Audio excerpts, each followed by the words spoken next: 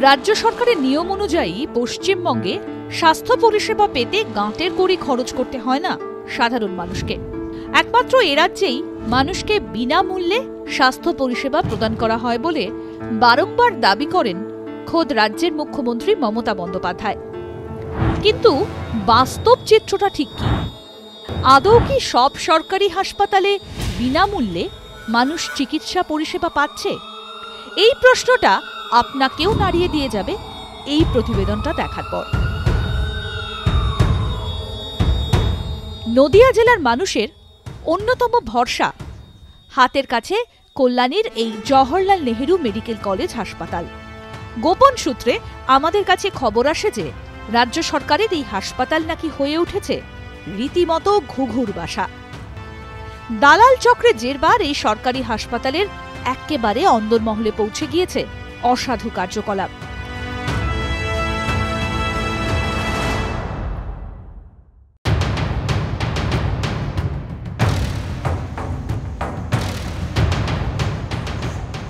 ওই পনেরোশো টাকা দিয়ে ব্লাড টেস্ট করে দিয়েছি না ডাক্তার তো সরকারি সরকারিভাবে। হ্যাঁ হ্যাঁ। সরকারি সরকারিভাবে রিপোর্ট সঙ্গে সঙ্গে দেবে আমাদের গোপন ক্যামেরাতে স্পষ্ট ধরা পড়ে। কীভাবে সরকারি হাসপাতালের ভেতরে অবাধে চলছে সরকারি নিয়মভঙ্গ রাজ্য সরকারের নিয়ম অনুযায়ী সরকারি যে কোনো হাসপাতালে চিকিৎসা পরিষেবা সম্পূর্ণ বিনামূল্যে উপলব্ধ। রক্ত পরীক্ষা ইসিজি সিটি স্ক্যানের মতো অধিকাংশ পরীক্ষার ক্ষেত্রে হাসপাতালের সরকারি ল্যাবে পরীক্ষা করালে রোগীকে দিতে হবে না একটি টাকাও। ভর্তি থাকা কোনো রোগীকে হাসপাতালের বাইরে বেসরকারি ল্যাব থেকে পরীক্ষা করানোর জন্য রোগীকে চাপ সৃষ্টি করতে পারবে না হাসপাতাল।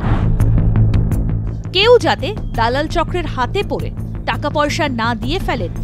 সেই জন্য হাসপাতালের দেয়ালে দেওয়ালেও লাগানো হয়েছে এই সতর্কতামূলক পোস্টার। কিন্তু কে শোনে কার কথা?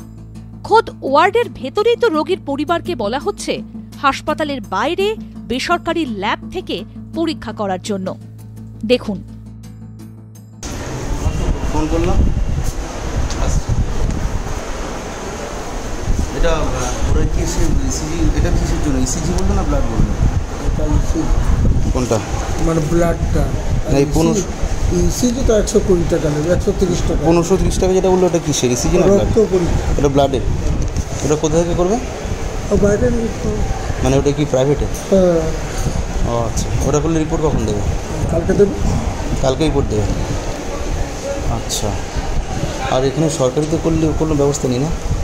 কালকে হবে। সরকারিতে করলে কালকে হবে। হ্যাঁ ডাক্তার মনে করে যে হ্যাঁ করাতে হবে তাহলে লিখে দেবে। না মনে করে তাহলে আবার তোমাকে বাইরে পাঠাবে। আচ্ছা। চিকিৎসা তো দেরি করা যাবে না? না না না চিকিৎসা কোনোভাবে ফেলে রাখা যাবে না। না ডাক্তার তো সরকারি সরকারিভাবে। হ্যাঁ হ্যাঁ। সরকারি সরকারিভাবে। একটা রিপোর্ট সঙ্গে সঙ্গে দেবে না দুদিন বারো আঠেরো মাসে বছর হবে। হ্যাঁ, দুদিন পরে তার চেয়ে প্রাইভেট করে নেওয়াটা ভালো হবে নাকি? ওটা করলে এখন নিয়ে যাবে কালকে সকালে দিয়ে দেবে সাড়ে দশটা এগারোটা মানে এটা বাইরে থেকে অন্য ল্যাব থেকে করে তো? আচ্ছা। গোপন ক্যামেরায় যার ছবি ধরা পড়েছে তিনি পেশায় আয়া মানে হাসপাতালের কোনো কর্মী নন অভিযোগ এই হাসপাতালের নার্স সহ স্বাস্থ্যকর্মীদের পরিষেবার অভাবে রোগীর পরিবার কার্যত বাধ্য হন বাইরে থেকে আয়া নিতে। আর সেই আয়াদের হাত ধরেই চলছে অবাধে দালাল চক্র। হাসপাতালে ভর্তি থাকা এক বৃদ্ধ রোগীকে কিছু রক্ত পরীক্ষা, সিটি স্ক্যান এবং ইসিজি লিখেছিলেন ডাক্তারবাবু। ওই হাসপাতালে এইসব পরীক্ষাগুলি সম্পূর্ণ বিনামূল্যেই হবার কথা। অথচ সেসব পরীক্ষা নাকি করতে হবে রোগীকে মোটা টাকা খরচ করে। তাও আবার বাইরের বেসরকারি ল্যাব থেকে। ওয়ার্ডের বাইরেই জলজল করছে এই সাইনবোর্ড, যেখানে লেখা, এই হাসপাতালে সিটি স্ক্যান সম্পূর্ণ বিনামূল্যে করা হয়। অথচ সেখানেই রোগীকে সিটি স্ক্যান, রক্ত পরীক্ষা ইসিজি করতে বলা হচ্ছে বাইরে থেকে। কিন্তু কেন? হাসপাতালে সরকারি ল্যাব থেকে পরীক্ষা করলে নাকি বড়ই বিলম্বিত হবে চিকিৎসা পরিষেবা। তাই রোগীর পরিবারকে নিদান, ফেলো করি মাখো তেল। ওই পনেরোশো টাকা দিয়ে ব্লাড টেস্ট করে দিয়েছি পনেরোশো টাকা দিয়ে ব্লাড টেস্ট করিয়েছেন ওই বাইরে থেকে? আর সরকারিভাবে কালকে করে গেছে একটা। সরকারিভাবে করে গেছে একটা ওটা রিপোর্ট আনতে গেছিল এখনও বলা হয়নি। সরকারের রিপোর্ট এখনও দেয়নি? কবে করেছেন? একটা কালকে করা হয়েছে আজকে এখনও রিপোর্ট ভাই আনতে গেছিল বলে এখনও হয়নি আমরা পাঠিয়ে দেবো। আর যেটা সর ইয়ে বাইরে থেকে করালাম সেটা সব করে আসছে টাকা দিয়ে করেছি। শুধু এমআরআইটা ফ্রি এমআরআইটা এবিসি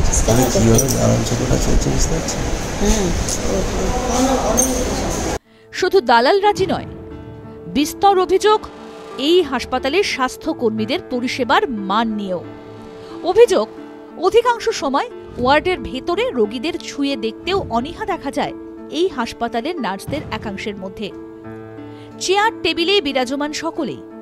কিন্তু রোগীর প্রয়োজনে নার্সদের কাছে পেতে রীতিমতো কাকুতি মিনতি করতে হয় বলেই অভিযোগ। সরকারি হাসপাতালে দালাল চক্র নিয়ে রাজ্য সরকার এবং শাসক দলকে আক্রমণ করতে ছাড়েননি রানাঘাটের বিজেপি সাংসদ জগন্নাথ সরকার। এখানেও কাটমানি রাজ চলছে বলেই অভিযোগ স্থানীয় সাংসদের।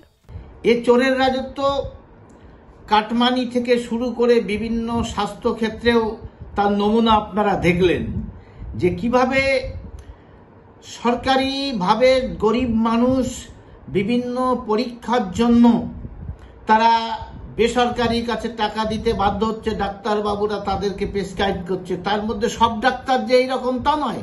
দু একজন ডাক্তার ভালো আছেন, তারা কিছু করতে পারছেন না। তারা চোরের সিন্ডিকেটের জাঁতা কলে তারাও চোর হতে বাধ্য হচ্ছে। যদিও হাসপাতাল সুপার, সৌম্যজ্যোতি বন্দ্যোপাধ্যায়ের দাবি, তিনি সদ্য সুপারের দায়িত্বে এসেছেন। নির্দিষ্ট অভিযোগ পেলে তিনি এই ঘুঘুর বাসা ভাঙতে কড়া পদক্ষেপ করবেন। দেখুন, পরিষেবা বলতে হচ্ছে যে কটা জিনিস আমাদের পরিষেবা বিনামূল্যে দেওয়ার কথা, আমরা সবসময় চেষ্টা করি তার জন্য যেন কোনো মানে যদি কেউ এক্ষেত্রে এক্ষেত্রে আপনার, আপনি যেটা বলতে চাইছেন যে অন্য কোনোভাবে কিছু নেওয়া হচ্ছে, সেটা যা হচ্ছে অবৈধভাবে হয়। এরম যদি কেউ করে থাকেন, আমাদের কাছে অভিযোগ আসে, আমরা সুনির্দিষ্ট ব্যবস্থা নেব। সমস্যা একটা হয়, অনেক সময় অভিযোগটা হয়তো আমাদের আপনি যেটা বলছেন সেটা যদি সত্যি হয় লিখিত অভিযোগ বা ওইগুলো তো পৌঁছয় না। পৌঁছলে কিন্তু ব্যবস্থা হান্ড্রেড পার্সেন্ট নেওয়া হয়।